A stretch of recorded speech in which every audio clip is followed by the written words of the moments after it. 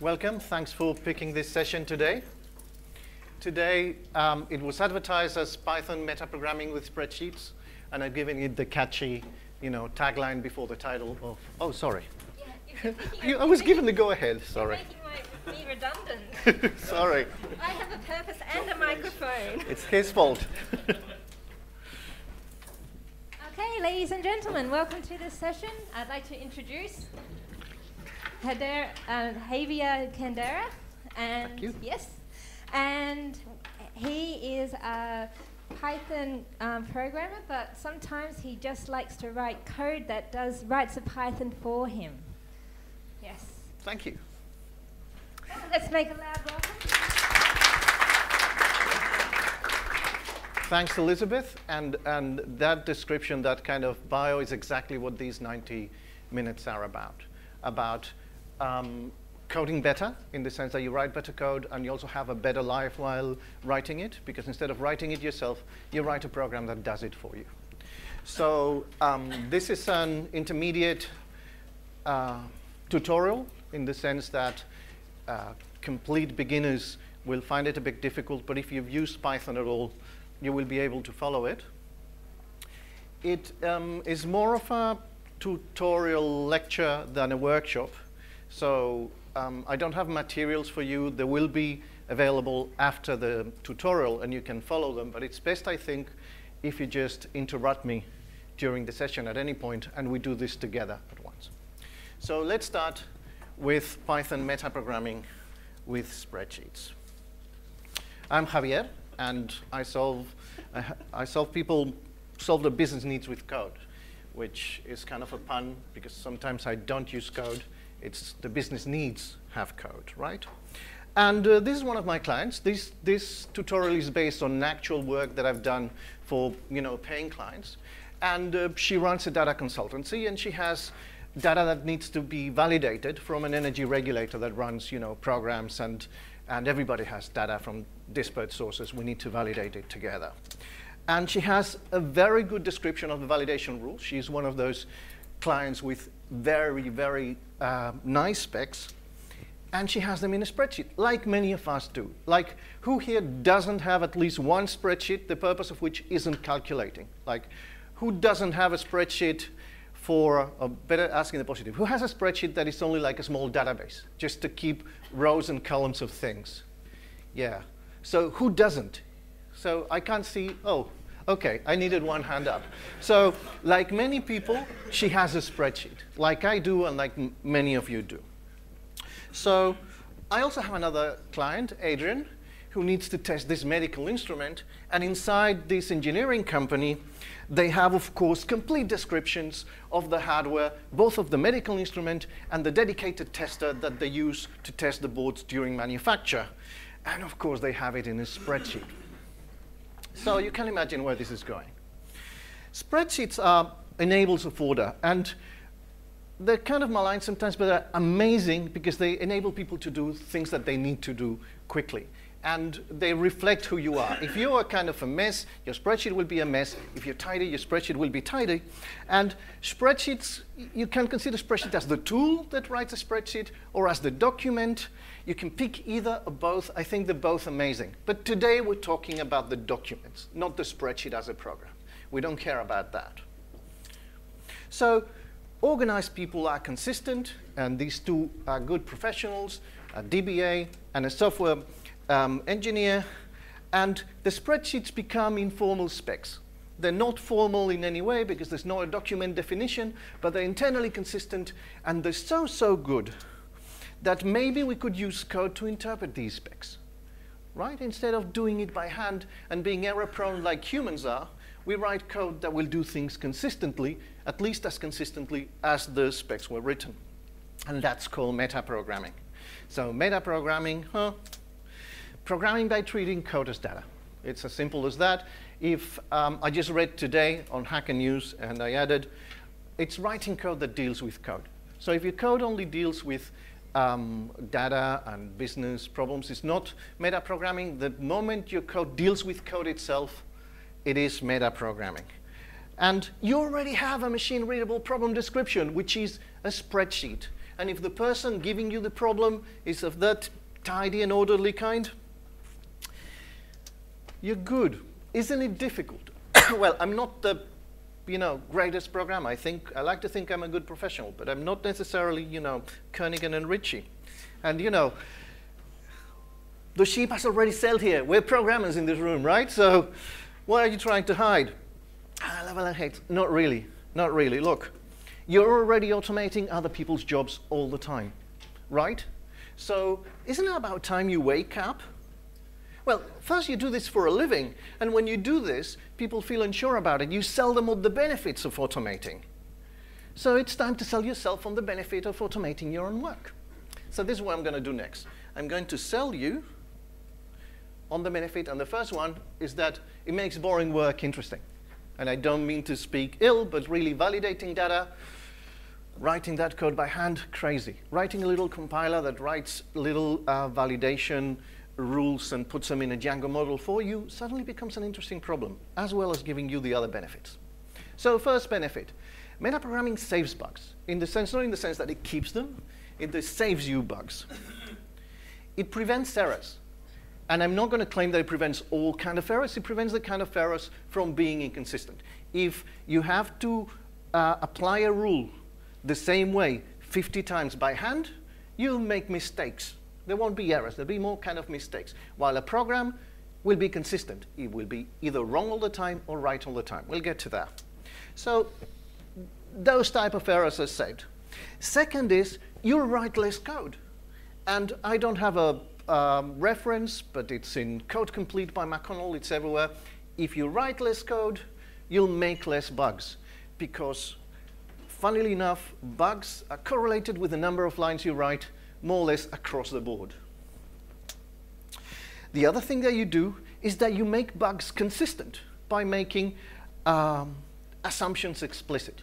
So as I said, these two people clients of mine are really tidy and they're very consistent but the spec is semi-formal and sometimes I have to interpret it. Am I right? Am I wrong? If I did it by hand, maybe I would take notes, maybe I wouldn't. If I do it in a program, my assumption of what they meant is written down.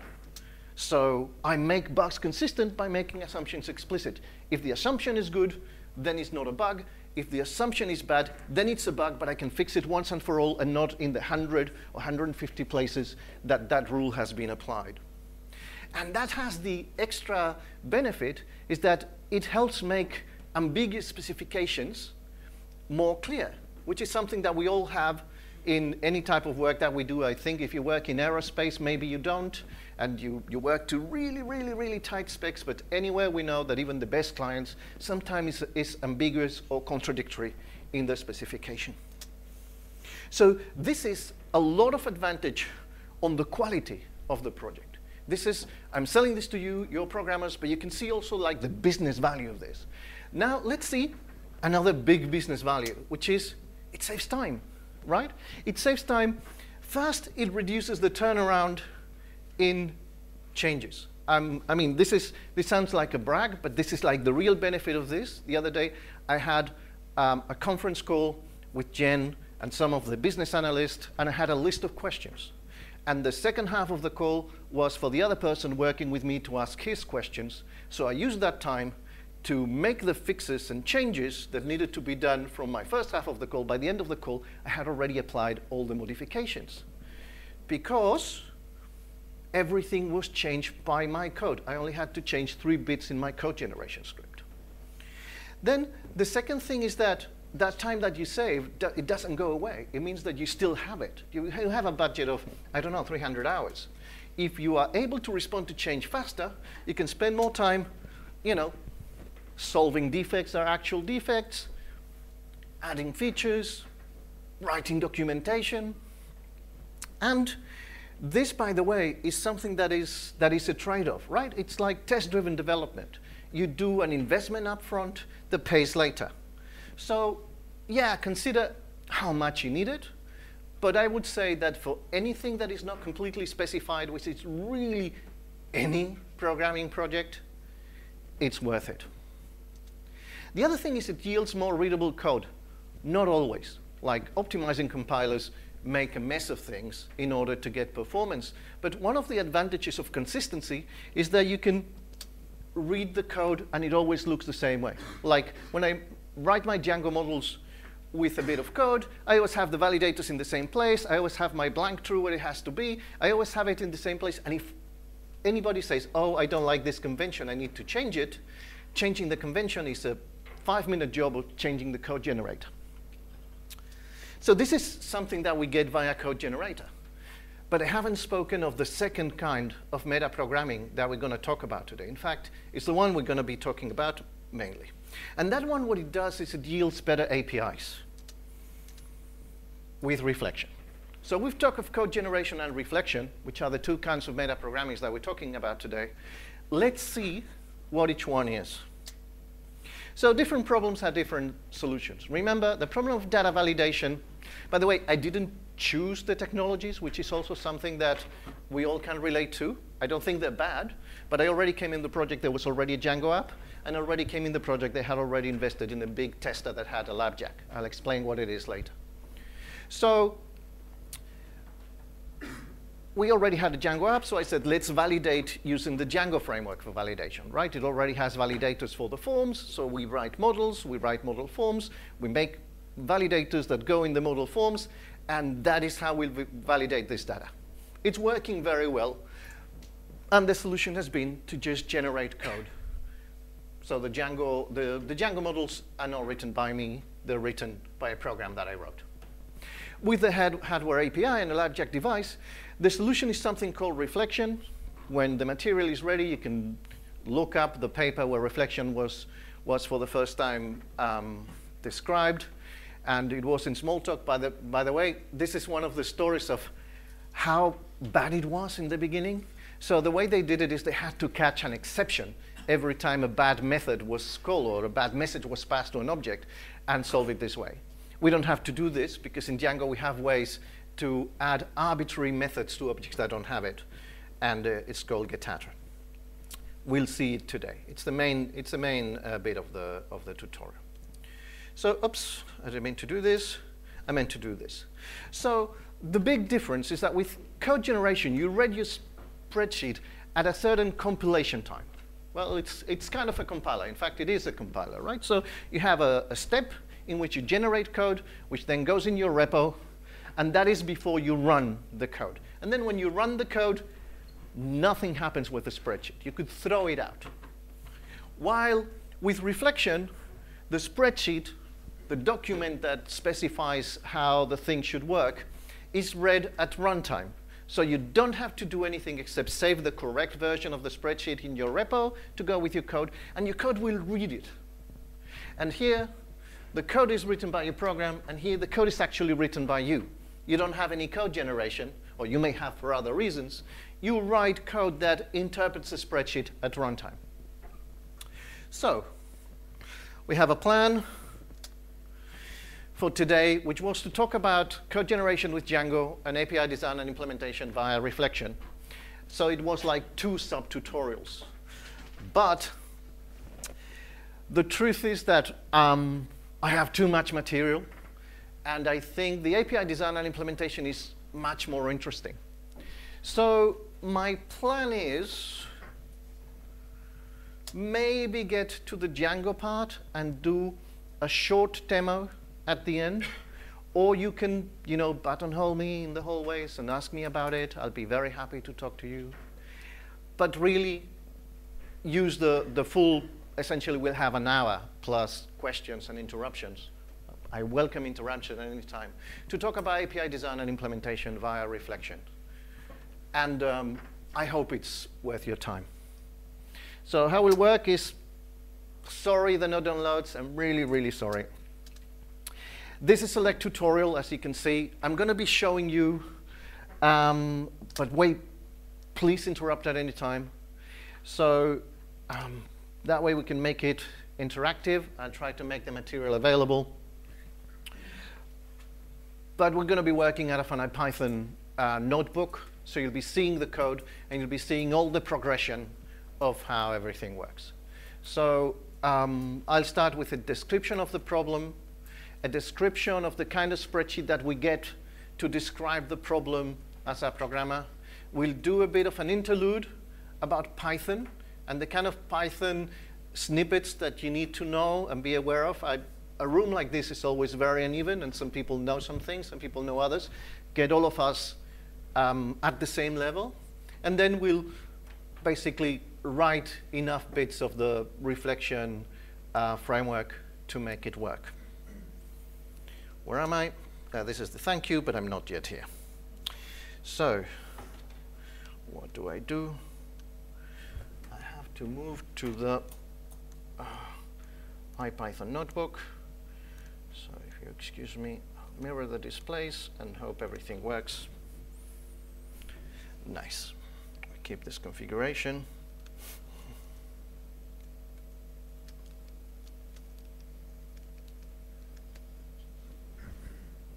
Yeah, actually this is where we are. Good. So, nice. So remember I told you we had a tester and a LabJack. And the first thing is I should tell you what that thing is, right? Oops, what happened? This is, uh. so let's start. So we have a tester. This is a physical device that connects to a medical instrument, both of which are um, described by spreadsheets that tell you which connection is connected to what. So um, I'll show you the spreadsheet in a moment. So the, the ask, the commission is, Javier, please, we need to, Javier and David, who was my, my workmate at the time, is we need to write a program for a laptop that talks to the tester, and then the tester simulates things for the instrument, so when it comes back, we know whether the instrument works or not, right? So far, so good. This is, by the way, I'm not a hardware person, so I know a bit about hardware that I picked um, along the way, but if I could get it, then it's... So the way this is done is you put a circuit board inside of the tester, and the tester has this thing as a LabJack that intercepts think, think uh, Neo inside of, the, of that womb, right, before he takes the pill. So the, the, the little circuit board thinks it's in an instrument, right? So the actuator that would normally turn on a fan is actually turning on an input. And the sensor that would normally take, take um, information from a temperature sensor is actually taking it from an output. So what you do is you do things like, okay, I don't want to be in the front of the projector. You, you want to write a program that does something like, let's simulate a high temperature. And then let's see if the fan was turned on, right? Let's simulate a low temperature and see if the fan was turned off. And that is essentially the program that we're going to write, or more, more likely, we're going to write um, an API a library that allows you to write that kind of program. So the engineers can then write many of many. So um, we don't have a LabJack, right? But we have something that I call a mini jack. And the mini jack is something that I wrote a piece of software. And I really would like you to stop me if at any point this is, and this is why I said, uh, please get, get close. So what this has is that I can, I can simulate input, and I can simulate outputs, I, and I can read outputs by being a human that reads the GUI. This is what the LabJack would be in the real tester, right? So um, let's see this bit of code that I just run. It just imports a mini jack object uh, it waits a bit here, but it just creates and starts a GUI. It's the equivalent of connecting to a, to a device and just waiting. And the way you would use it with the mini jack is, let me see how this is done, because I need to go.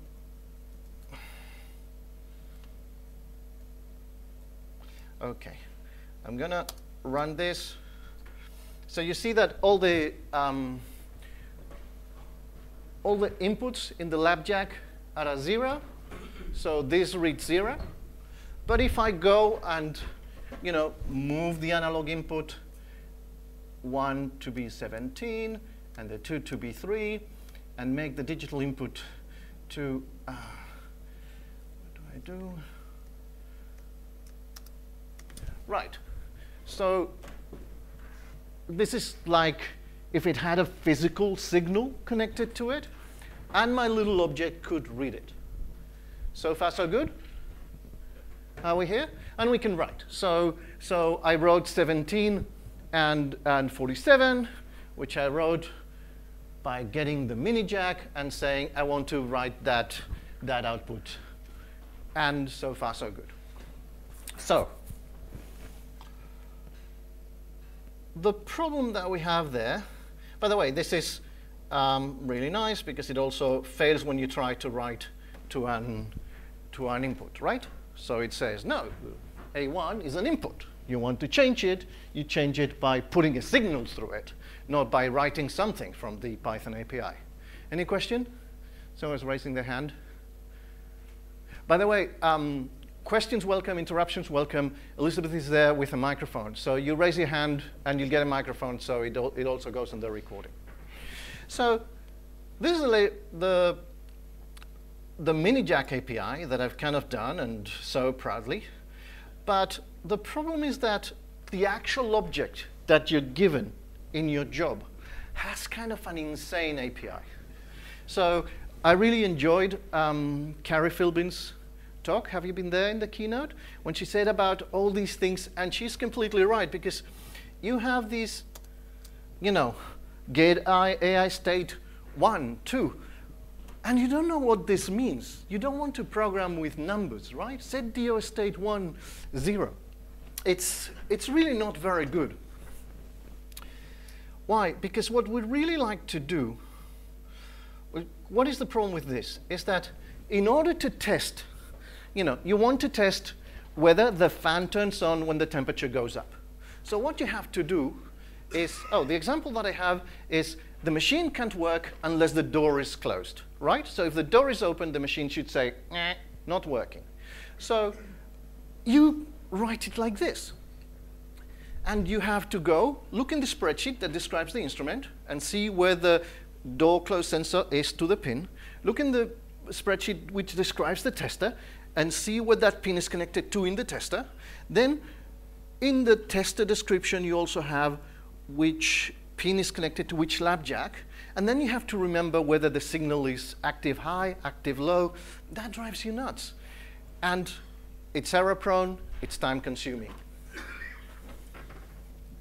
You could do better and prove that you can, you know, write C in any language is well, uh, right, we just wrote 1 to D to the digital output 1 by making constants. And that is better than the other option, but you still have to maintain these constants in your code by hand. And if something changes, if there's a bug, if something has to be rerouted, if the, if the device has a new revision, and the device, either the tester or the instrument, are different, then you have to go through all your testing code to change where the connections change. So we'd like to have a more Pythonic API. And by the way, what I do is I often make a constant spy file, so all of these would be in a, in a central place. Still, far from optimal. What we'd like to have is this kind of code which doesn't work because we haven't written the tester object yet, right? Can you read from the back well? So we'd like to write something like tester mainboard door, write the open state, right? The door, the machine has a sensor, so we have to write in order to simulate the states. And the fan can be turned on and off by the instrument, so with the tester we, we have to read whether the machine actually did it. And of course it doesn't work because we haven't written. Even tester is not defined. But this is um, the approach that the people of, um, of Hoodie, which is a, um, a web framework that I like, they call it dream coding. You define the API you need first, and then you write the thing that implements it. And by the way, this API, I would defend it in many ways. It's geared to the engineers that would use it. So would it be better to write get, get and set instead of read and write? Maybe, but not when it's hardware engineers because they use write and read to and from signals. Would it be better to have not the board that it's connected to, just test a door, test a fan? It would be an option, but not for this job where what they are doing is testing the actual boards and they like to have it very explicit in their code. It's a question of also the Zen of Python. Explicit is better than implicit, and they wanted it this way, etc., etc. So um, trade-offs have been made according to the people who will be writing testing programs using this code, who is the engineers in this, in this company. By the way, neither the person who wrote the tester, nor uh, the main testing program, nor I, who wrote this API and bits of it, are now in this company. So we're writing something that's more maintainable for them too. So this is what we are going to write, right? Now, this is the bits of Python that we need to know. Please stop me at any point if you think, oh, I didn't know this. So I'm going to start. We're going to use something called dict reader, which takes a CSV file, or a CSV file, a comma separated value. In our case, it's actually tab separated value um, from the, the code base and slurps it, analyzes it to read it. We're going to be using a default dictionary. We're going to be using the dunder methods getattr and call. We're going to be using partials from functool, and that's about it. So don't worry if you don't understand some of this. Um, I'd rather you didn't hurry me along because you already know it, because there's always someone in the room who doesn't, but is a bit shy about mentioning it. So I'll try to be fast, but kind of exhaustive. So CSV dict reader. I have this um, spreadsheet with cliches that I wrote, right? And it is, it has commas in it to explain why we make a CSV, despite the being called comma separated value, uh, files actually tab separated values. The reason is we don't want them comma separated because some of the fields may have commas. And these spreadsheets often have comments, right? So the comments people write long uh, free form and they put commas in them. So you don't want that. So you save the spreadsheet as a CSV, which is, by the way, another thing that I recommend. You don't work with a spreadsheet. Spreadsheets, they can go on your code base. They can't be diffed just with a text diffing tool like git diff or whatever else you use. So uh, you just save it as a CSV. And then the code does this. Um, I've already run it. I don't need to run it again, but let's go through it. I import both CSV and pretty print in order to print it. And I make a dictionary of cliches, which is where everything will go after I've slurped it from the, from the um, um, spreadsheet. And then I say, I want to open the file and then I make a reader of it, and I say, yes, the delimiter is a tab, and I also quote the fields with, um, with uh, what is it, quotation marks, double quotation marks. This is something that you can pick according to the spreadsheet that you're given. Like if someone uses a lot of quotation marks, maybe you don't want to do that. Some of them are just numeric. You may want to do another kind. Um, this is very, very useful. And what it does that's, that's useful is that for every one of these rows, it makes a dictionary. So it makes these dictionaries, um, country Australia, drink beer, uh, country Spain, food tapas, and it makes these, these dictionaries, and what I do is just, I put them in the big dictionary, and then I print it, right? So this is as simple as that.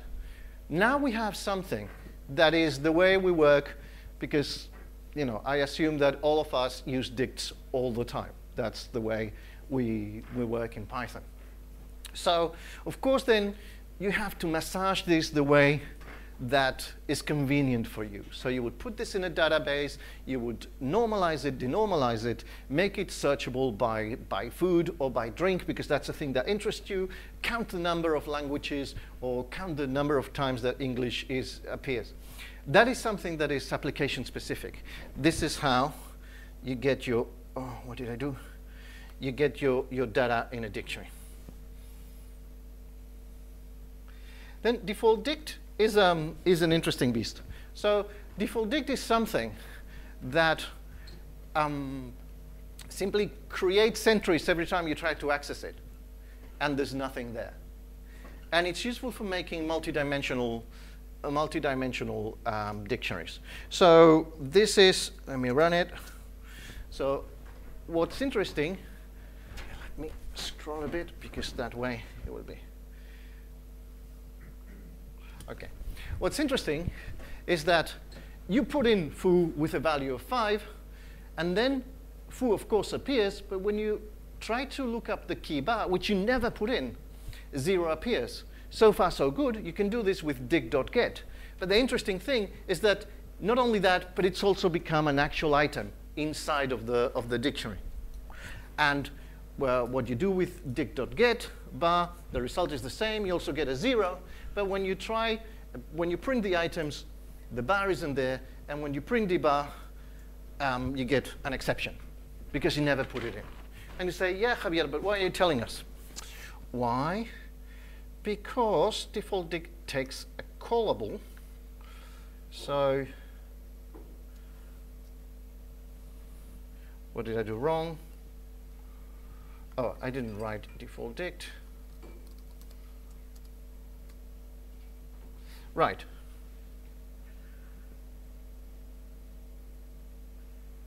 Where did this? Right, I'll fix it. This is why I had it. So you have a default dict that gives you a dictionary. So when you access, you, you haven't put um, A key anywhere. But when you access it, it still gives you a dictionary. Things say will be an empty dictionary in which you can put something in B, right? So things say B, uh, I, can, I can print it out for you.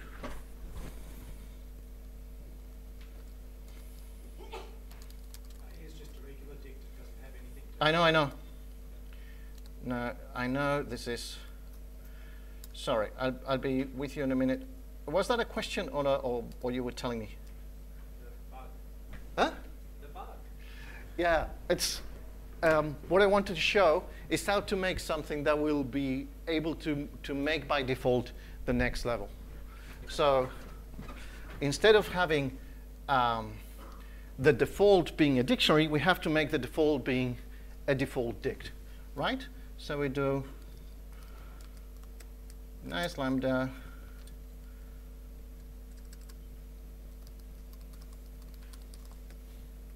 and this should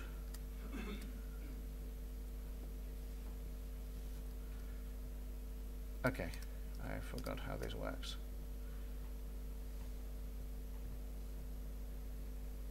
Uh, this is no good. It's the argument to default dict. Ah, yeah, thank you. Good. Thanks a lot. So this time we have a three-level, a three-level, um, a three-dimensional dictionary in which the last one wouldn't be default, but we can, we can put things in it um, arbitrarily. So now we can say things A C C D uh, D equals bar. Right? And then we can look this up and it will appear.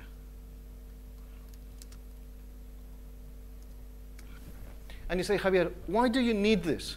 Well, we need this because we're going to have to store things in two dimensions. We're going to have to store signals or data about the signals by board and signal name. Remember that our API, we want to write an API that was like test. Uh, we want to write an API that looked like this. And this will eventually have to look in a description object that is a multi-dimensional description and looks here.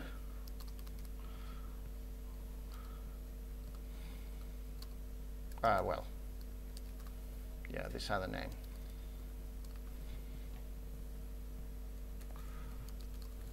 To get the description out. Right? So a code a code in order to be able to, to put the descriptions in to make a big description when we're reading the, the spreadsheet. And in order to be able to, uh, to after it late, to, to access it later by these two, let's call them namespace variables, the method names that are fake method names. We'll need to have a place to look them up. And we'll look them up in this multidimensional dictionary. So far, so good? Yep?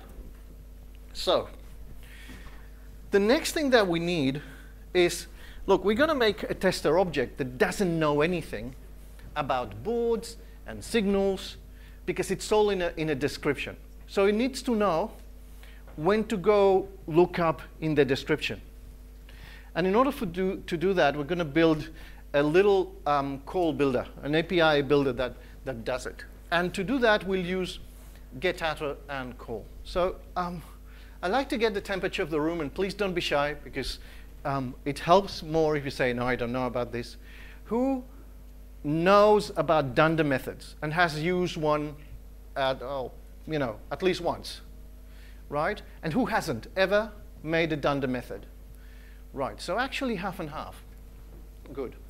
So I have a presentation that I prepared earlier. I, I like this kind of stuff, where I explained dunder methods. You can stop me. I'm going to do something which is I explain them now in a presentation, and then as I go down the code, I'll explain them again, but with examples. Because I think that's the way I learn. Like, I read about the theory and it kind of washes over me, but then I get it the second time because I remember I saw the theory. So please, by any means, stop me. Interrupt me if you have questions. But uh, mind that there'll be a second, there'll be a, like a catch up later, and that's where you can, you know, ask all your questions if you want. So again, if you want. So get getAttr and call, they are the dunder methods for returning attributes from objects and making objects callable. So let's start. And I don't start with water dunder methods. By the way, this can be, is it? Presented. Am I doing this right? Right. So when you do something like banana dot split A, you get all the bits of banana that are separated by A's. This is a normal, existing string method that we've all used. But interestingly enough, white space, which is significant in Python, is not always significant. Uh, we can isolate two bits, which are the bit that does the attribute access, the bit that looks up the split method in the string banana or in any other string, and the bits that call the method split with the value a, which are the bits that make a callable into a value, right? That's what calling a function is. You get a, a callable, an argument, and you return a value. And that is calling. So let's start with the dot. The dot separates the dot has two functions in Python. It's easy, but so one thing is qualified names, and the other thing is separating objects from attributes and accessing the attribute to set it or to get it, right? We use this either when we want to change the value of the attribute or get the value of the attribute, whatever the attribute is, including a method. And this is the thing that makes calls. So this syntax can be intercepted, right? So the dot syntax performs access of the attribute, and this syntax performs function calls. And the cool thing about Python dunder methods is dunder, by the way, I call because they have double underscore in front and double underscore in back. You can't make them up. There's only a limited number of names that exist that Python gives you. And what they do, if you see a dunder method, what it says is, hey, this is a hook, so the syntax of Python can work for you. If you write a function with this name and two underscores in front and back, then the syntax will do what you want, not what Guido wants. Well, that's cool. Guido gave this us, so gave us this. So an example is that you often define str so you can print objects, right? Many objects are unprintable things. So you, you define a str or a Unicode for them, and suddenly they have a printable version of themselves.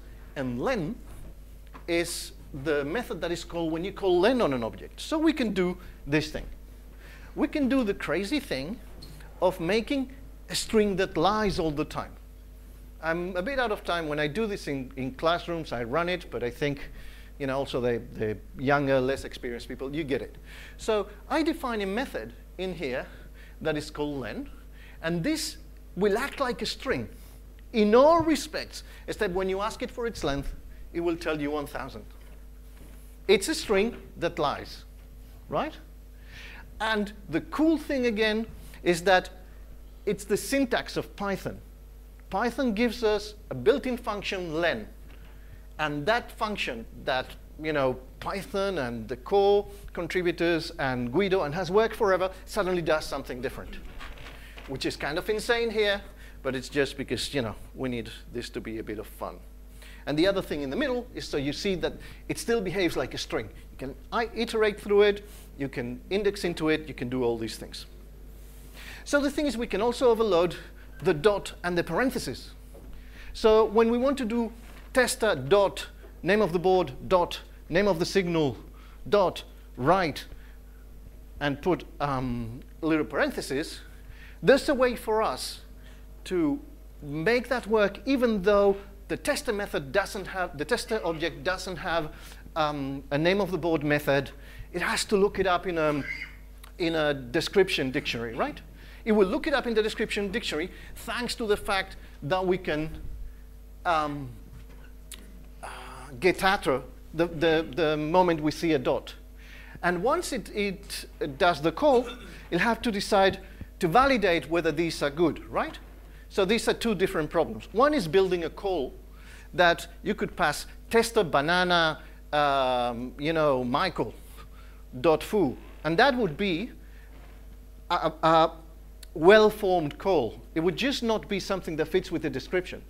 So first, something that uses getattr will build that call, and then something that uses um, call will, before you gives you a, a, returns a value or tries to set a value, it will look in the description and say, hey, this is insane. This doesn't work. Oh, yes, of course.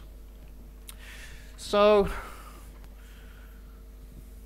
so this is a demo of call, which, in which I make a number you can call, right? So you can actually call my number in the Python sense of calling, of putting um, so I make uh, a callable integer, int integer that returns, calling this number, returns a string. And this is where I show you that it's still an integer. So I can add it. A equals B is still true, because this is a callable integer of 1, and this is 1, so it still equals 1. It's only different in the regard that if you try to, to call um, number 1, the actual integer, you will say, Meh, integer is not callable. But you know my callable integer is callable, so I can call it. Right? So I think this is it for, um, for Dunder. Let's see getattr and setattr. Um, let's, let's do this too. So this is um, an object. Let's see, this was a good way of doing it. So this is from a library where I learned all of this, by the way. Credit credit is due. I didn't know any of this till I started using a GitHub library that is something like 200 lines of code. So the good thing about short code is that it has less bugs and it's more understandable. I could read it, so I printed it and read it on the bus going home. And by the time I was home, I already understood it because it was that short, not my merit, but Mitchell Liao's. So he made a JSON object that works like JavaScript object in the sense that you can um, access it with dictionary semantics and also with object semantics, right? And as you know, Python objects don't work like JavaScript objects, right? If the dictionaries, you can access them with dictionary semantics, and if the objects with properties, with data properties, then you can access them with um, method and attribute, uh, with attribute access semantics, sorry. But you normally can't do both, right? So um, if I'm going too fast, no? So how is this done? Well, you write a getattr and setattr. Right? So every time that getattr and setattr get called, every time there isn't actually an attribute. Right? So Python, if you say um, object.attribute, it will try to find the attribute inside the, the object. And once it doesn't, it'll say, oh, let's go to getattr, see if there's a rule. See if there's, see if there's an actual method that someone wrote to deal with this case. So what this does is uh, easy because self is a dictionary, so it just looks in it with the uh, dict semantics. So you're accessing it with attribute semantics, right? You're saying um, A dot B. And what it does, since it's a dictionary, it says, oh, you want this A, make an index B. And if the key doesn't exist, then I'll give you an attribute error because you accessed it like an attribute. And with setattr, it's much more easy because, again, it's a dictionary, so you just set it. And that's how setattr and getattr. So far, so good? Yep. So I would say that now we have most of the pieces for an API. Because we can make a call builder that has a getattr and setattr. And what it does is appends anything new that comes. Right? You, ini you initialize it with an object. And then it appends anything new that comes into the list of arguments. So if you make call builder with 999, uh, by the way, it has a wrapper, so you, you can print it, and it says, it just makes a tuple of the object that you put in when you initialize it and the argument list that you return. The important thing here is that getattr returns self, right? So let's see um, the call builder of 999, what it does. Let's execute it like we are the Python interpreter. So what we do is um, when you do this, it goes to the init, it has some object, the object is 999, it'll store it here, and that's it. It returns this call builder object that has an empty arg list and some object. And there is an A. I'm going to go to the other side. Then you say a dot unicorn. Forget about this bit. A dot unicorn, what does it does? Is there a unicorn property, either a method or a data property in this object? No, it isn't. So, Mac, it goes to get getattr. By the way, this is, this is looking at it in a get semantics. If we were looking at it in a set semantics, it would call setattr. If we, if we had here an equals and then another value. So, so we're here, right? And it says a unicorn. So it puts unicorn here. And what this does is it appends. So now the object A has 999 in self-object and a list that only has the word unicorn. And then it returns self. So this is still the A object, just with more things inside. Then you put dot demo. It tries to access the demo method or data attribute of the A object, which is a call builder object.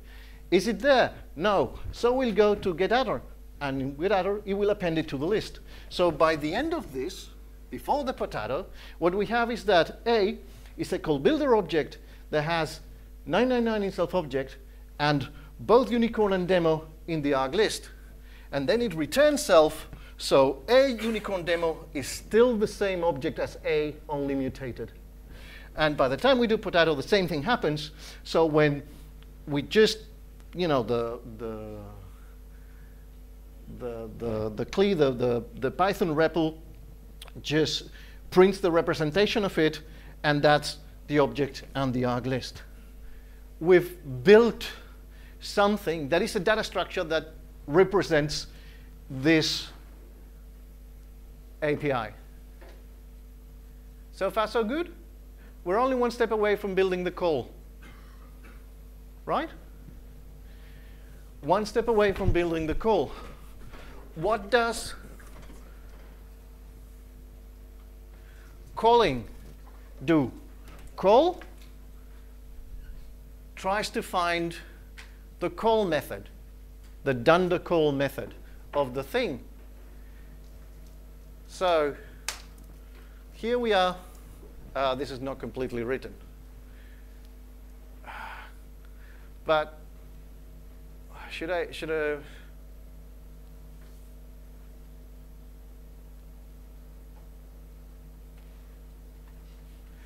Oh, Dan, I was so happy with myself. Okay. So, callable, uh, let's see that there's a description. So there's a description.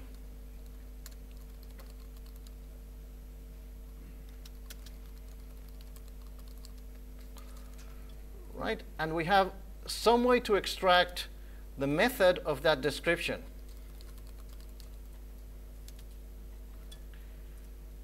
So what call should do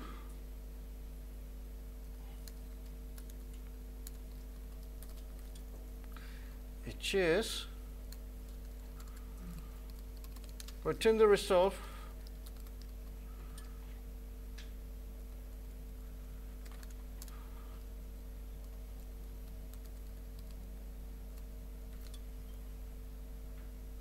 this is not the best description. It's much better later on. I apologize for this. Yeah, it's called arglist. You're right. My apologies if I've lost you.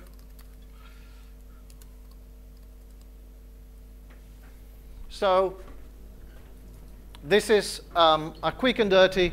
So when we get the call, we could do something that is look up in the description, uh, the description that we have for the API, look up the callable if it's there. This is not what we do, by the way. I'll tell you why later. But look up the, the, the method from the description and the arguments, and then call it, and remember to return the return, because we expect some return value, and if not, then the callable doesn't give it to you, it returns a none, and you return the same none. Yes? Um, just the previous slide. So Can you, can you get the microphone? Wait for the microphone, I'll get the previous slide.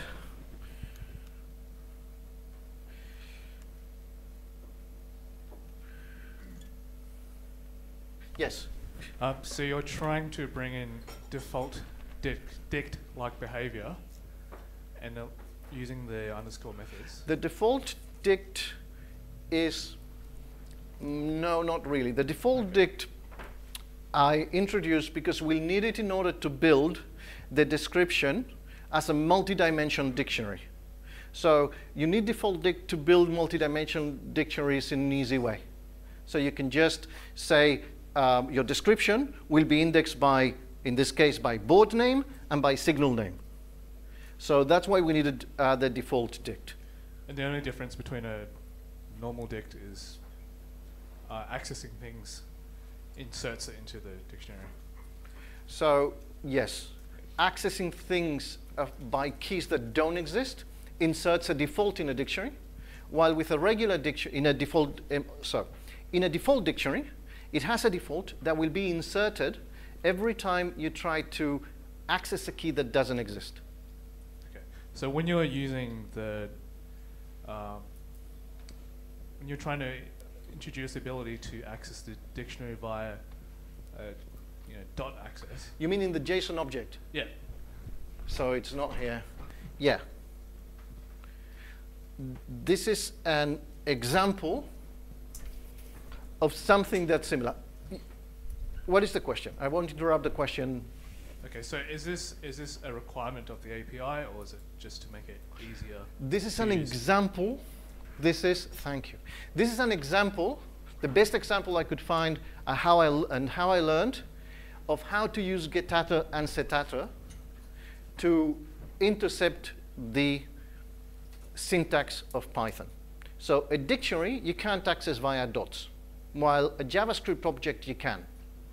So this little thing, JSON object, makes, gives the behavior of a JavaScript object to a dictionary by inheriting from it. So it does everything a dictionary will do, plus when you access a key via a dot, it will look at itself and do the same thing, but with dictionary semantics, with index semantics, And uh, when you try to set a value via a dot, it will do the same thing. So to link both things, what, I've, what, what you do is you add to dictionaries an API of only one level, whereby you can just put in um, um, something that looks like an attribute, and it will be, it will be treated like a key. Yep. So it is, in a way, a way of dealing with defaults, and in that way, is similar to default dictionary. We are doing the same things over and over, which is how to make objects deal with arbitrary inputs instead of the inputs we define statically by writing things into the code. Yep, that's Right? Yep, that's what So the default dict allows you to insert um, things into objects that are not there yet because the key was never put in. And this allows you to answer to attributes that were never written in because you never wrote code with that attribute um, me- method with that name. Okay, Right? thank you. You're So welcome. idea would be so once you've actually Can you wait for the microphone, please? so the idea would be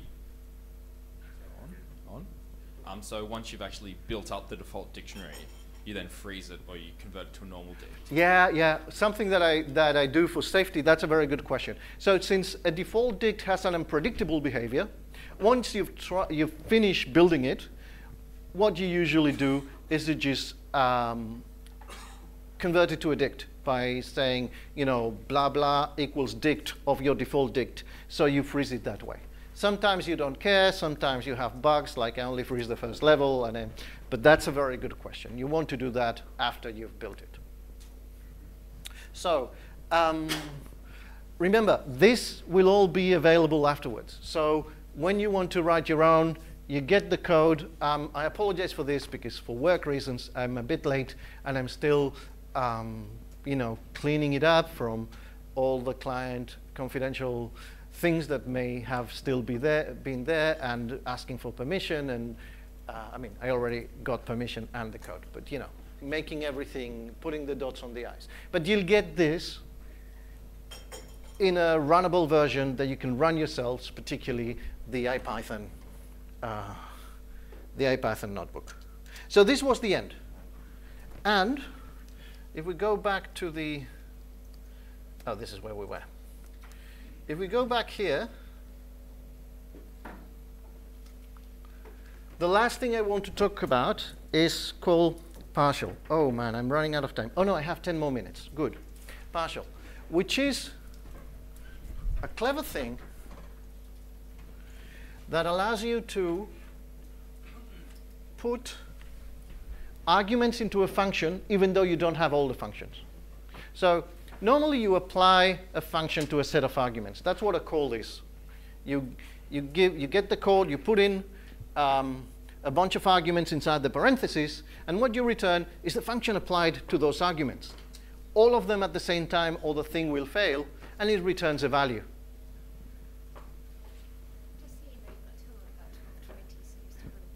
Thank you. So, um, and it returns a value. And that's what you get, right? You get a full application and you get a value from a function. That's what we're all used to having. How many people have done any formal computer science or on their own? They already know functional programming. They know what a partial is. Just, so I'd say a fourth of the room. So this requires a bit of. So, a partial, what it gives you, is a function that takes less arguments because some of them have already been applied. That's why it's called partial application. It's a partially applied function. So I have this as an example. I'm going to do cool things. So I just made a read that when completely applied, this would return the value from board signal. So this would return the, the, the value from some board, any signal. So if we applied partially, we can pass a function that has some or all of the arguments, but haven't been called yet. So did I have partial? Yes, they're here. So I can say, okay, let's write it this way.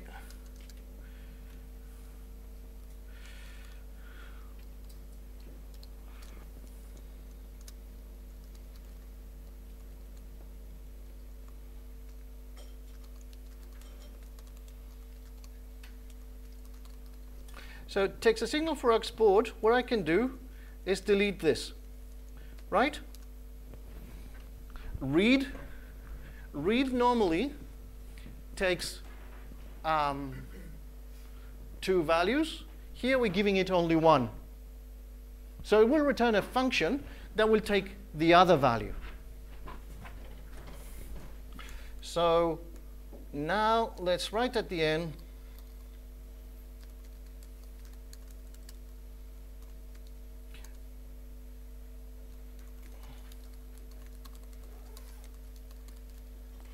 and see what happened.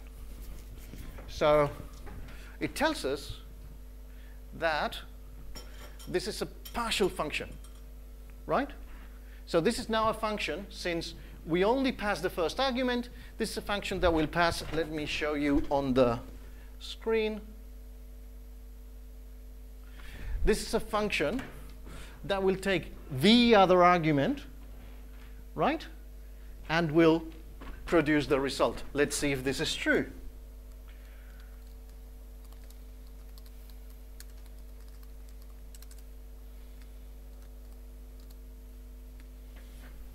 See? We made a function. We made a function that had part of the arguments, and then we added the last argument and called it with it, and it just worked. The clever thing with partials is that you can pass all of the arguments. So you get a function that already has all the arguments and that you haven't called yet. and why do you need this? Because remember, we make these things in a separation of concerns. One little bit of code will build the call. The other one will validate it before actually making the call. So you need a partial to pass it as this thing, validate it and run it if you want. But I've just built you it. So our tester object, you could tell it, uh, you, could, you could write, you know, the crazy thing that I wrote, test a banana, blah, blah, blah, blah, blah. It would actually build that call and pass it as a partial. It wouldn't try to call it. Something else would validate it reading the description and read it. So this is the thing that we're going to see. So, uh,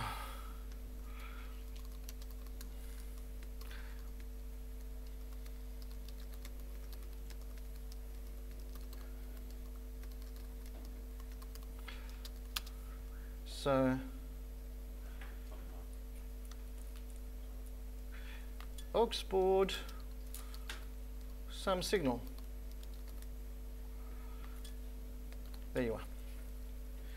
Now, again, I've already passed all of the arguments, right? Haven't I? I've already passed all of the arguments, but I still get a partial function. I created this function object that in this case, since I pass off all the arguments, it won't accept any more arguments, but it will still be allowed to be called. So now I have all the pieces, and I thank you for your patience. Yes? Uh, yes.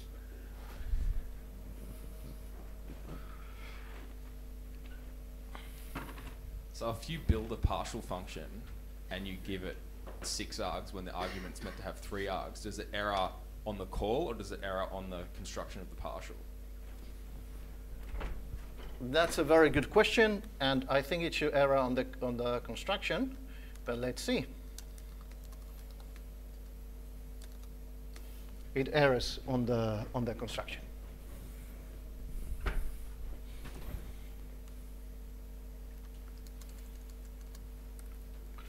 So, sorry?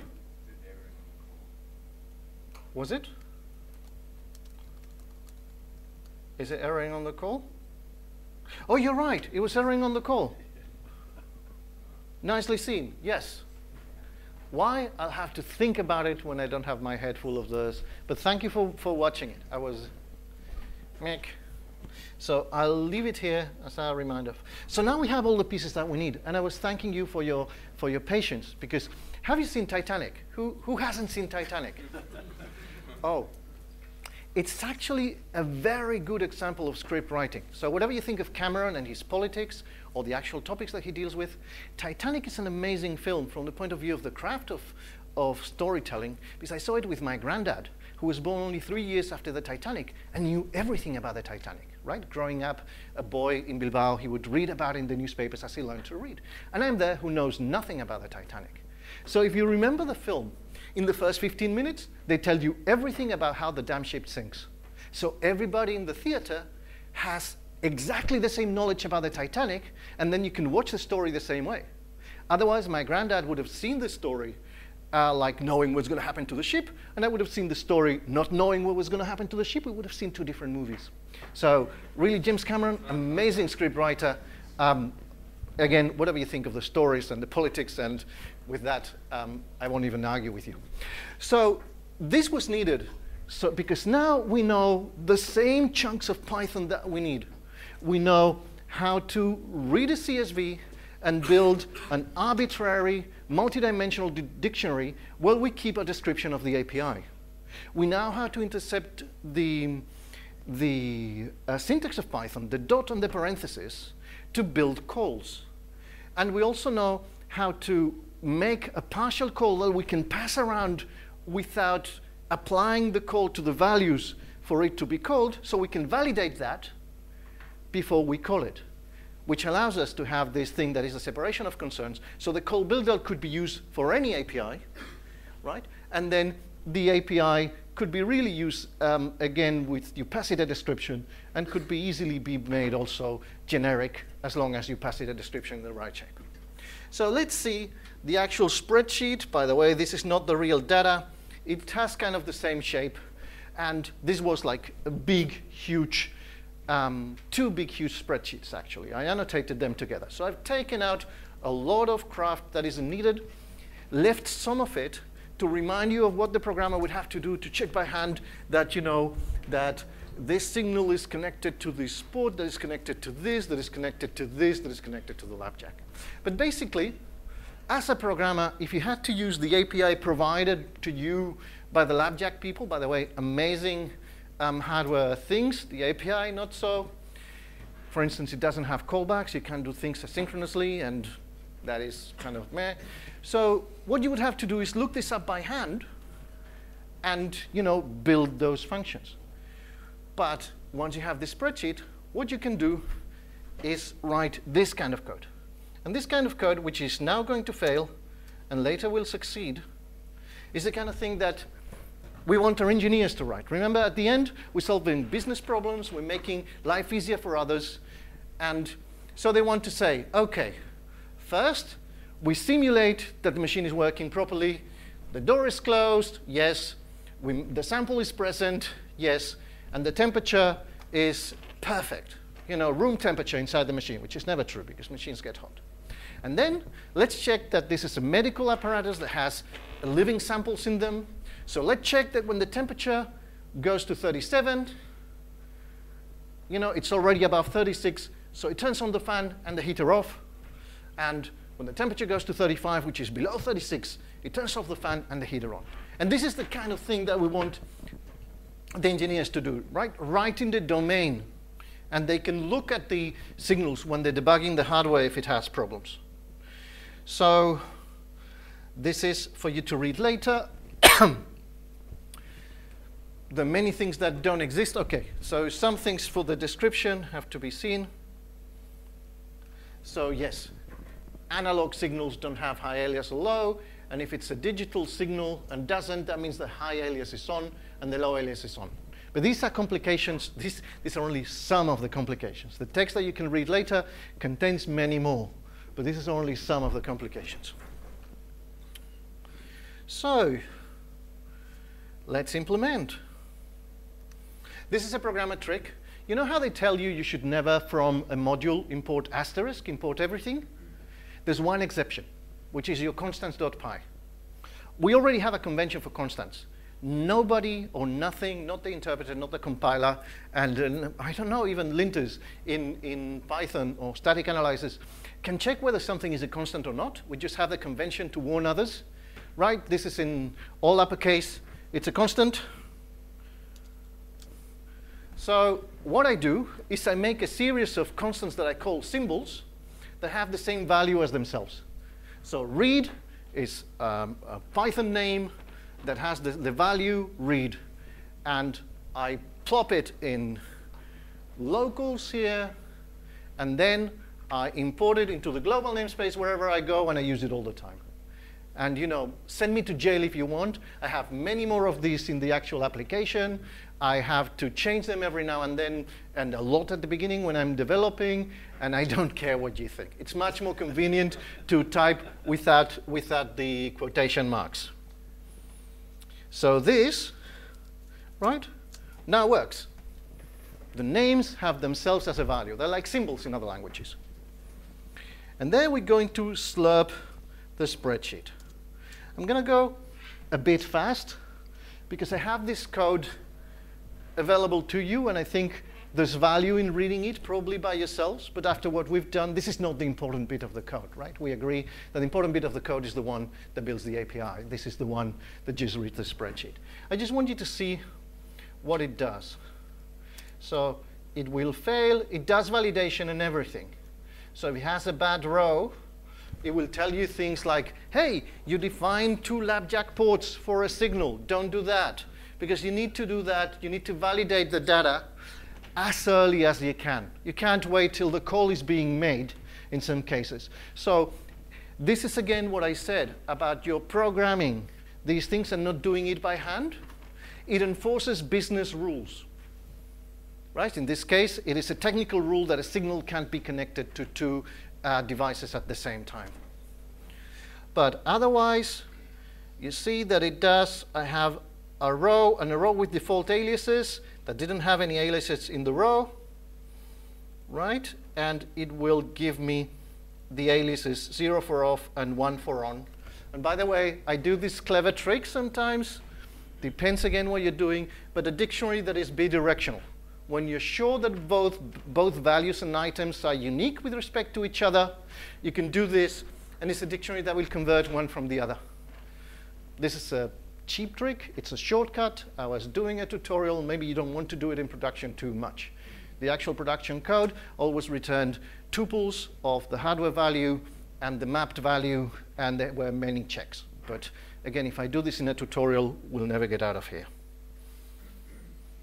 So, again, this is the bit that I don't think it's necessarily useful to go through the code, but yes, to see what a description looks like thanks to that trick with the, with the uh, defaultdict, we have a multidimensional dictionary. That the aux board di dictionary contains all the signals in, in, in um, board, which are found running heater and sample temp, and the main board contains all the signals, which are DAW, instrument temp, and sample temp. And inside, the dictionaries have the shape that we saw that describe a signal.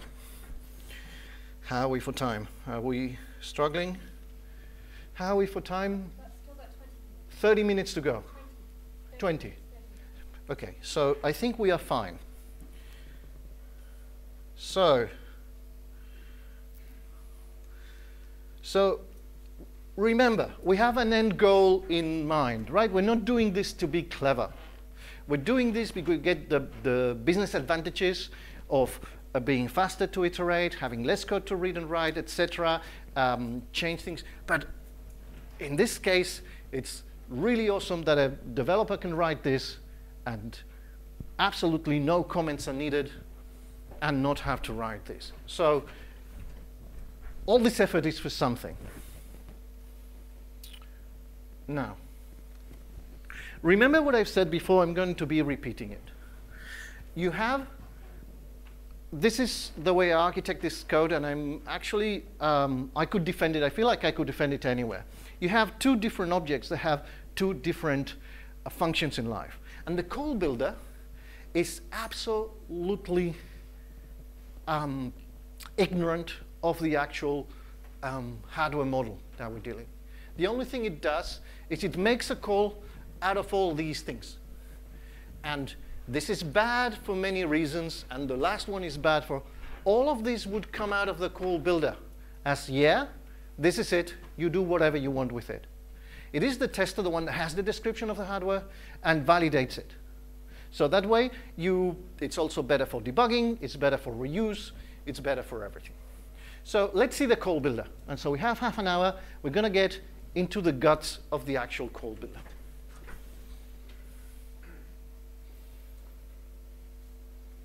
So it will be the write and read functions that we pass, the one that will validate the data before doing the call, right? So um, when you build a call, you say, please build me an API call with these read and write functions. Why do I have more methods none? Oh, yes, because it keeps calling itself. So the first time that I call it, it just takes the first method and it puts read and write inside itself for later. And then let's see, uh, what did I do wrong? This is kind of tricky for space. Okay, let's see first the bottom to see what we don't need of the function. It will represent it with a series of dots, so you can print and see what happened. When it calls itself, you can't call it. You can't call the uh, call builder object because it's not a callable. It returns a function at some point, right? It returns a partial function. And um, yeah, it does string. So the only thing that matters here is what it does when you okay what it does when you call it with um, a method. Remember, uh, maybe I should have somewhere to write.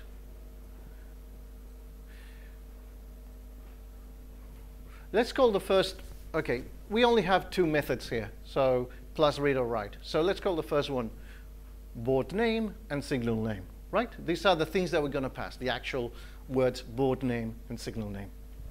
So the first time that we call it, we call it with the first method with the board name method. And we put the board name method here. And um, there's no more methods. We haven't passed anything. So there we have. It returns this little object, a call builder object that has a first method in it. And then when we put a dot and put the second method in it, which is signal name, right? The thing that has board name in it does as follow if the method is in call map, it means it's read or write. And we are ready to produce the callable and return it, right? Because we know that the things that are callables are read and write for this particular one. So we pack everything together. We get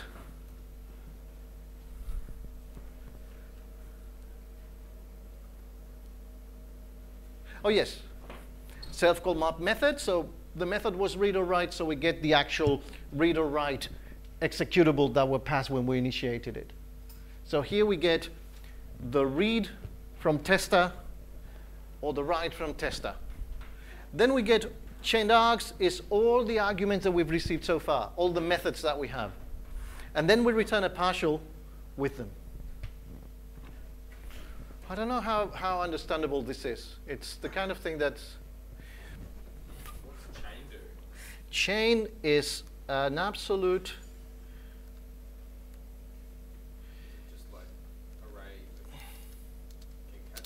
they should work. Yeah, you're right. This is embarrassing. Chain is something that takes a series of, uh, of sequences and gives you a sequence. So actually, this is better. I recall.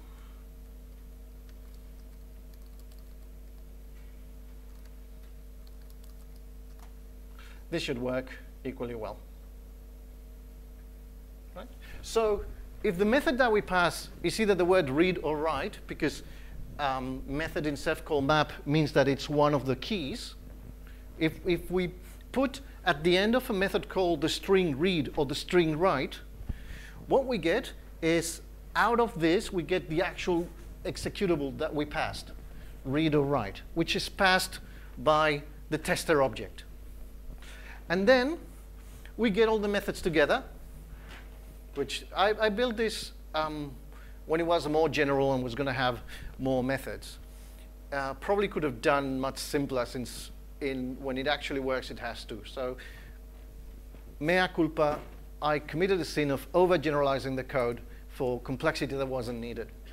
So then I get all the methods together, and then I partially apply, remember the asterisk is I have a sequence of arguments, I put it there, and I call it.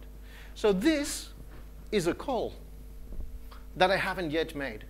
It's a callable that all it needs is uh, to put the, the uh, parenthesis at the end in order to return a value.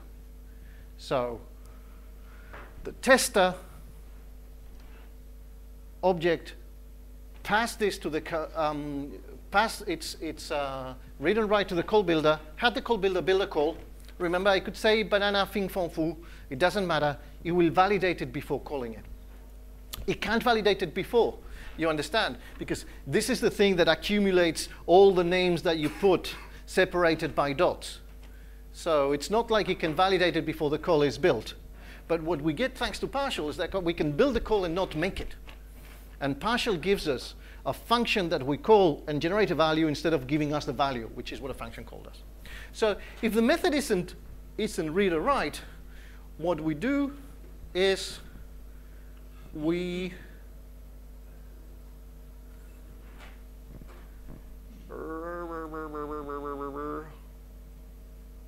uh, it instead of returning self, it, it does, um, like the other one, it does a, a recursive call. So it says, okay, I want another call builder object since it didn't give me read or write. This is not the end of the chain. So the first time you put board name, and the second time you put um, signal name. So it says, okay, first method is still board name. My methods uh, whatever we had before plus the new one that you've given me. In this case, it's signal name. And then I get the read and write because I'm going to return the same object. This time it has board name here, and it has a list that only contains signal name plus read and write. Then if we say tester, board name, signal name, banana, then what it will do is, boom, okay, board name, this has now signal name, comma, banana, and let's make an object that has, you know, board name, read, write, and now it has signal name, banana in it, etc. So it's making the, the long, um, I don't want to use the word chain or string because they have meanings, the known series of names followed by dots until you find the, the strings read or the string write, and then it will pack it all into a function that all you have to do is put the parentheses behind and call it once you've validated it. So far, so good? Haven't I completely, completely lost you yet? No? Good. So this builds the calls. So let's see now.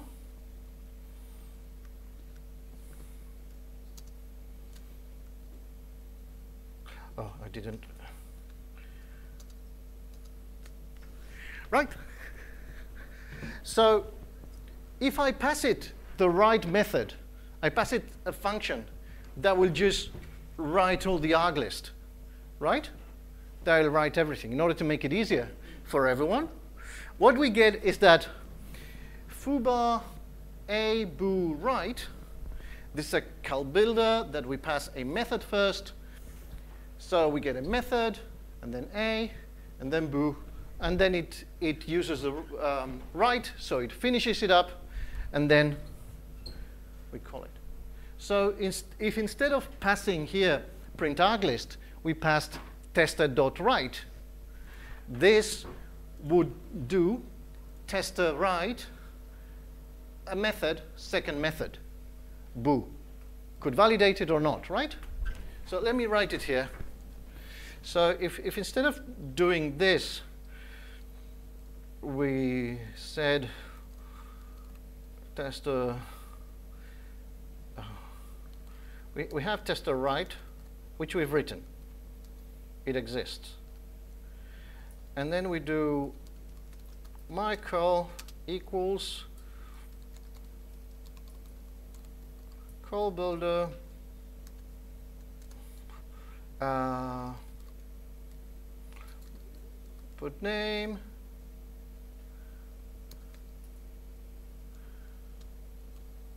read equals none.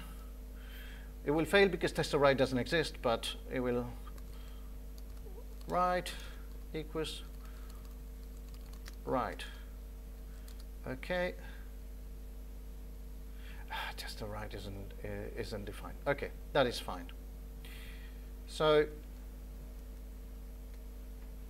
then we can do my call signal name, write, and since we saw that with foobar a boo right produces a method a boo, we see that this one will produce, okay, let's do it with tester underscore write, tester underscore right, which is going to be actually equal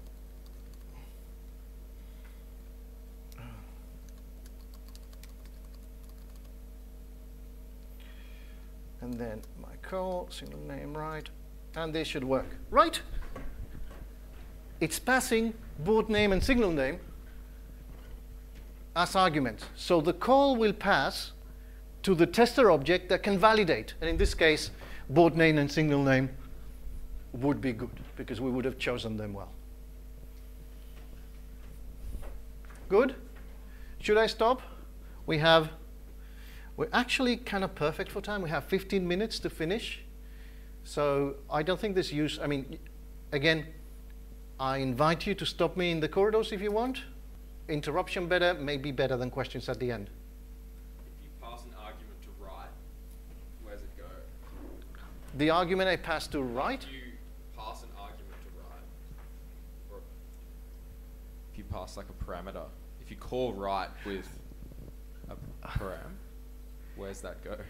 that goes to, that is a very, very good question. What it does is this is a partially applied function. This is the answer. I have to pass an argument to write because I pass value. I don't pass an argument to read. The answer is that the function read takes one less argument than the function write, right? So read basically takes um, the arguments for validating the API, and write takes the arguments for validating the API plus the value. So it will be those functions that will, and that's the reason why, by the way, partially applied functions fail when you apply them. Of course, because you have to be in the moment to call them. They can be a function of a function, etc. So I have a, an answer to my own conundrum, and thank you for your question. So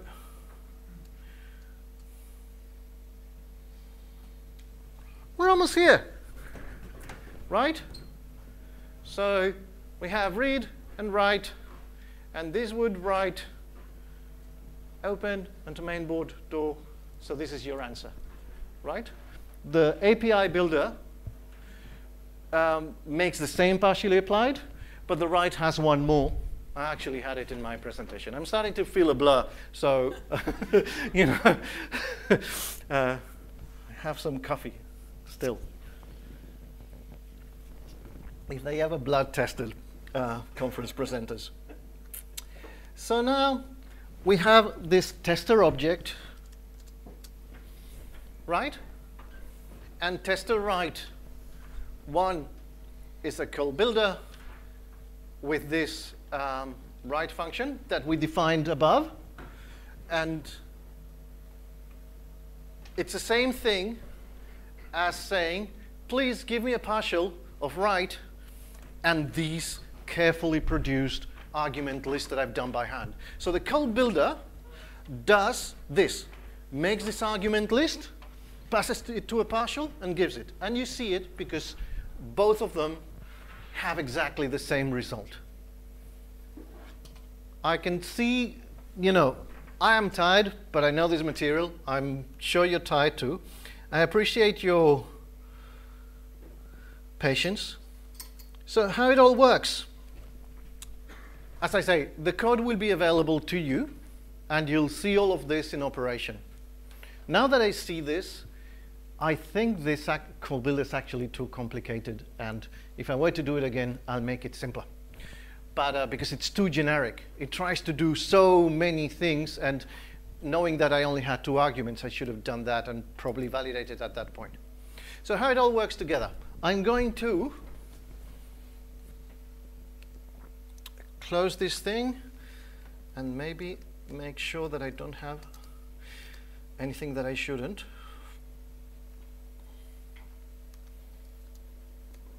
So now this is the actual tester object that does everything that it should, right?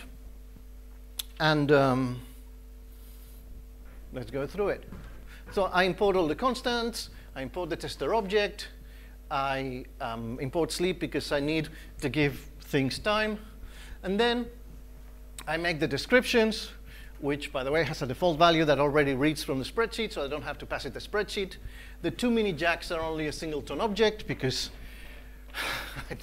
um, I already spent too much time shaving that yak, and then it works by a, by a client server thing, so I have to make a connection that's called start GUI, and now it's working, right? And then I make a tester that uses the description and my list of devices. And now I have a tester object where I can actually write this. And this is now the challenge. I have five seconds to simulate that I am the instrument, right? So the instrument board will have to manage the inputs in response to the outputs. So first, the thing won't fail, and when it writes closed, you'll see that this goes to 1. And when it writes present, I don't know, maybe this is 0, I, the things are opposite, you'll see that it writes 18 and 36 to simulate the good working conditions of the instrument. And then it'll do the thing that the code would have done during testing in manufacturing, right? The board is inserted in the tester, and what it does is it writes 37, so this value will be 37, one of these two, and then it will wait five seconds for the machine to, well, it waits less, right? This has sub-millisecond response time, but I'm a human simulating the thing it gives me um, the fan is on one and the heater is off one. So I have to put both to one. And then when it says 35, I have to put both of them to off. And if I manage to do it in time, it'll tell me I've succeeded in the test. So, bum bum bum bum bum bum bum bum bum bum bum bum bum bum bum bum bum bum bum bum so, thank you. So, I realized this was a lot of tutorial. I was crazy. In my plan, I was also going to show about code generation with Django models. That proves I, I have the same relationship with time that dogs have to food. You know, they, never mind the size, they think they can do. So um, this will be for sure publish in some way, including that I might even clean up the call builder object and make it into a more intelligible one. But I think, um, you know, the enemy of, of, the, of the good is the best. So I'll try and publish it as soon as, as I can. Um, I do have something here, which is uh, I promise not to use any of this for spamming. Which is that this is my email address. And I will publish it here. So this is my email address, and don't worry, please write to me. Like, uh, I suggest if you, if you make it easier for me to find it, you can call it PyCon AU15 MPS, which is what I've been calling it you know, meta programming with spreadsheets. And if you write this and you put this in the topic, I will remember to email you when this thing is on. I think we still have we still have five minutes for questions. And as I say, I have another talk tomorrow, and I'm equally. Sorry? 15 minutes for questions. That's amazing. So um, I have another talk tomorrow, so if you could please wait until after that because I'm a bit caught. But there'll be tea time afternoon tomorrow, and um, you know, um, you can find me, and I'll appreciate anything that you want to ask. So I don't think it's. Has anybody got any questions? Has anyone got any questions? Or maybe not questions. Go back here, or recommendations. Really good talk. I love that like complexity. It's good. Um, so not directly related to this, but the your other Django thing. Yes. Do you generate code by just printing out the code, or are there Yes. some like okay? So there's, Yeah. Just wondering if there's libraries available where you. No, no. I can show you. It is, it is. Um, so what I have, and I have, by the way, I have permission to do all of this. I have amazing clients that say, "Oh yes, of course you can open source this," and uh, this is a public utility. So the personally identifiable data is private, but all the schemas and everything. Um, but all the schemas and everything are public. So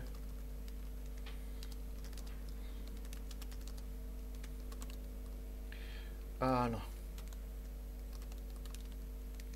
So this is very, very low key. Um, one of the reasons I've done this instead of the, of the Django is that from the moment I suggested the talk, I sent it to now, I no longer work from spreadsheets, but we've actually written a dialect of SQL that we use to describe most of the models, and then we supplement it with a spreadsheet. So it's a bit more complex in ways that weren't advertised. And I still don't use a parser. The next deal will be use an actual parser, build an AST. But also you have to, to think, you do this to save yourself time and problems, not to do the cool thing.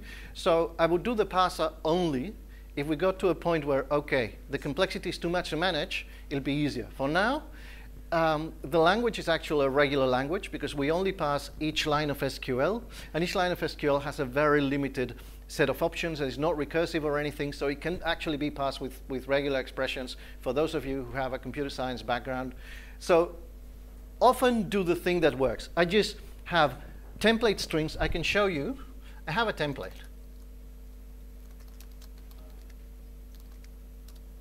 So, and my, my template, this may, may benefit from, right. And my template has a bit of code that's done by hand, which I use when I'm developing the actual um, simulator. For instance, the clean method, for those of you who, who uh, don't know in Django, you, you use a clean method when you want to validate one field against each other. So use a validator for validating a field on its own. When you want a field against each other, you have to do it at the form level, use the clean method. So uses a generic thing that I pass a description of the. So this is already, though it's written by hand, it's the basis of the generated code because this is where I do my little model for the site and the client, which are very small models, and I can do by hand. And once I've created this function, which is uh, a function that gets called to do things instead of another, then I put this thing in the validated, which is here. And as you see, I just plop it in with a Jinja tag, but it's, it could be anything. And the reason I use Jinja instead of the others because it deals, uh, I need to embed the, the uh, things that have, that have um, what do you call it? Curly brackets, so I don't want to escape them. It's, it's easier for me. So um, if, you, if you want to see the code, it, it won't do much.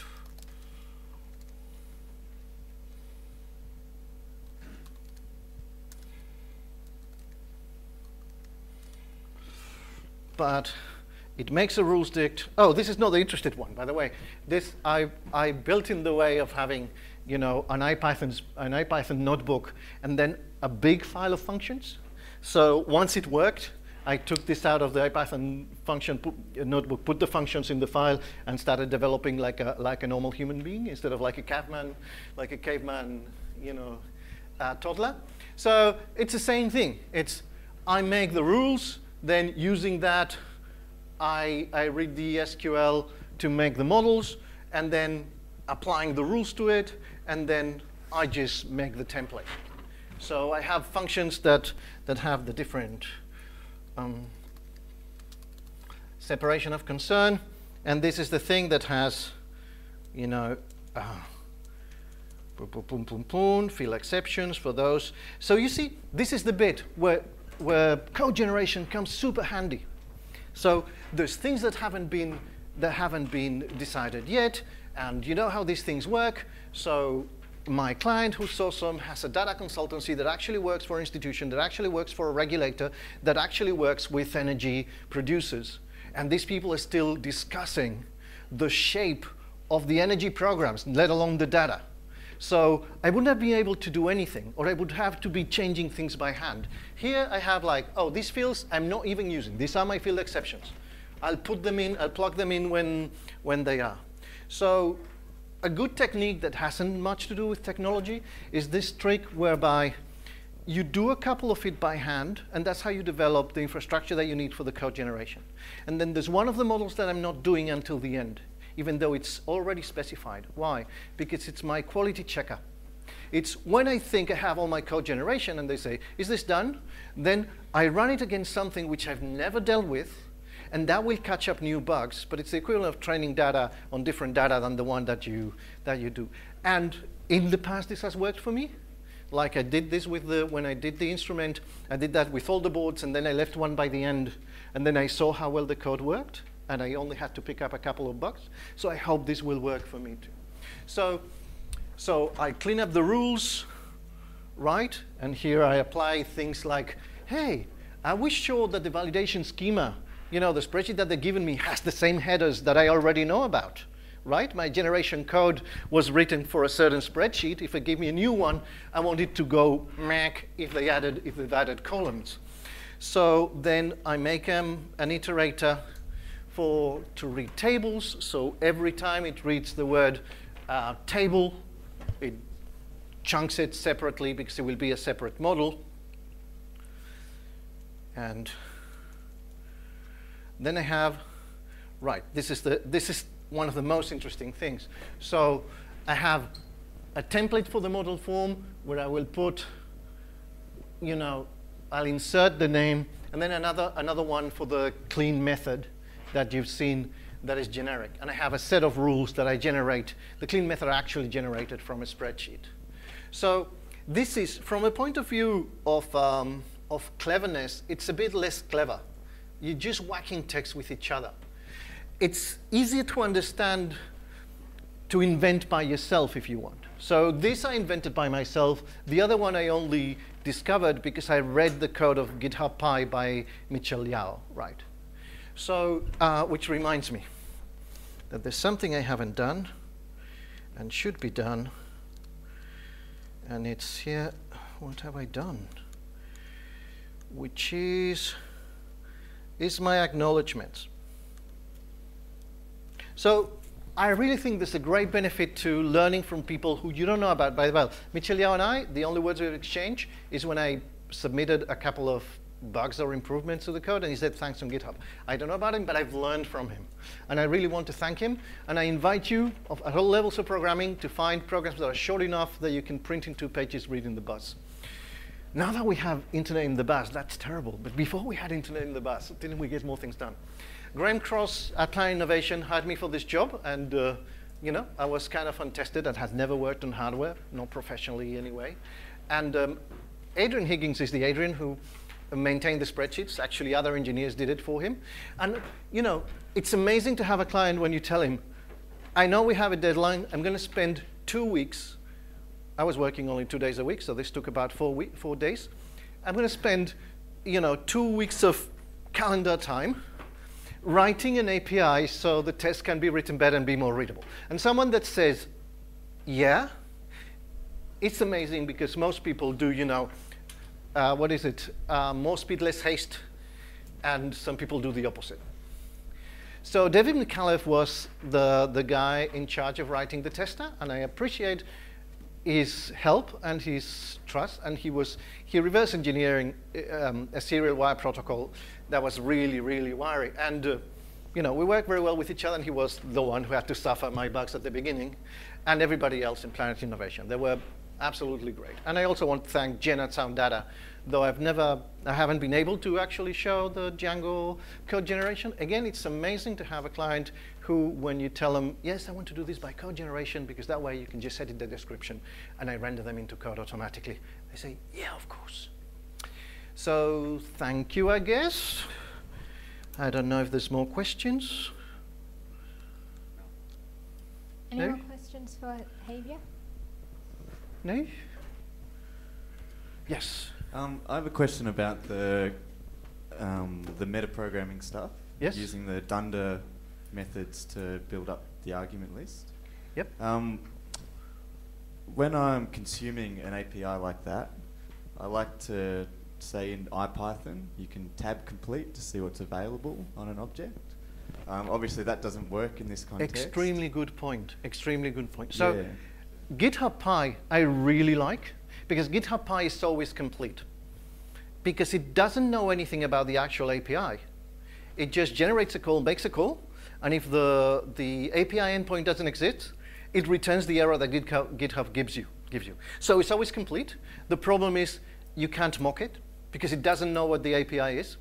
You can't run tests very well because you don't know what the API is. I mean, you can run tests against the call builder, but not against the GitHub API.